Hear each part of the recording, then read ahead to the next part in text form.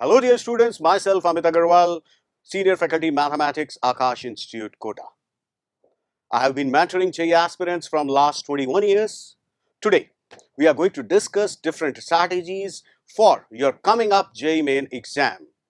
Why different strategies? For different kind of preparation level. Suppose you have finished your 100% of syllabus or might be that you have finished 70 to 80% or I'll be telling you the strategies if you have completed 50%.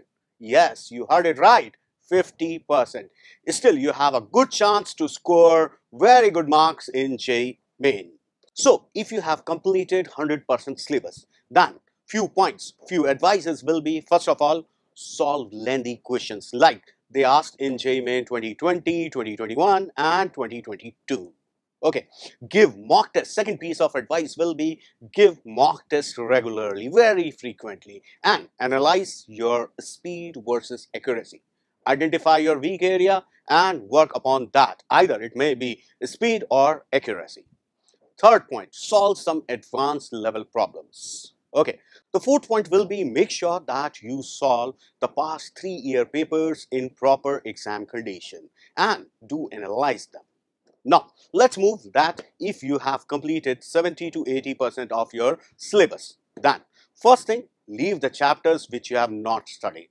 Okay, just focus on your strong areas. Second point will be focus on accuracy. Don't go on speed. Whatever you solve, solve them accurately. Okay, next point. Next point will be give at least two, three mock tests in a week and analyze analyze your performance in your strong areas. Okay now let's move on. Those who have completed 50% of the syllabus. First point will be leave the chapters which you have not covered.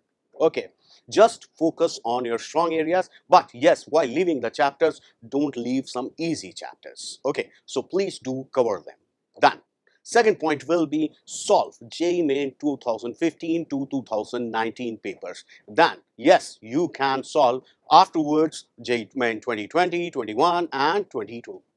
Okay, give one mock test weekly. And again, I'll advise that try to score 50% marks. See, have a positive mindset. 50% marks are good enough. Your desire for success should be greater than your fear of failure. So, positive mindset is very important. Now, some general piece of advices for everyone. Make result-oriented strategy, not learning-oriented. Don't get stuck into a particular topic or particular chapter, hows and whys of the chapter. Okay. Second, take utmost care of your health. That is very important. Now, the next point will be have a positive mindset. Stay away from distractions, negative people, negative influences. See, your mind works like whatever we tell. So, better tell the positive things. Then, the point will be make the formula sheet for every chapter and revise them weekly. Do attempt the mock test as I told you already and identify your mistakes and try to learn from your mistakes. Mistakes are the proof that at least you are trying. At last, remember, productivity is the result of commitment towards intelligent planning, focused efforts, and dedication. Thank you.